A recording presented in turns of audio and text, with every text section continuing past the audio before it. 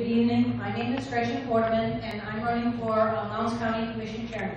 As um, I'm sure all of you know by now, our current chairman, Ashley Paulk, is retiring, and he's not running for office again, so that's an open seat.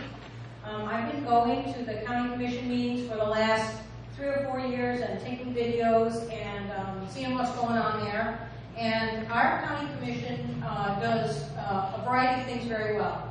Uh, we have a super service that you can sign up, and if there's an emergency, you get rung on your telephone, and it'll tell you there's a storm coming in your neighborhood. Um, and the IT department does some really great stuff. They were one of the first in, in the state to uh, have election results online in real time.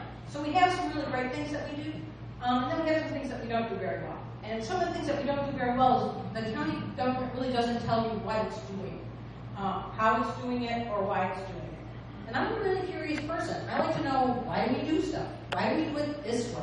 What problem are we solving with the way that we're doing it? And I think that people would really appreciate knowing what is it that we do and why do we do it that way.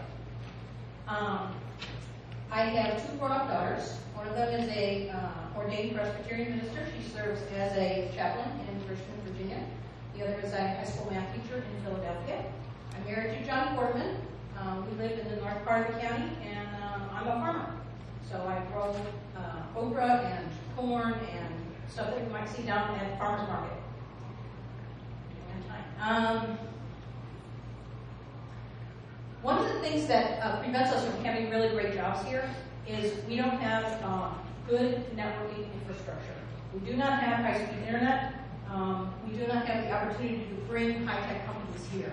Um, and in order to attract companies, we need to have the infrastructure to bring them. So infrastructure is more than just roads and bridges. It is the internet. It's a decent telephone service. Uh, we're really lacking in those things, and we need to make a change. Uh, my name is Gretchen Quarterman. I'm running for County Commission Chairman.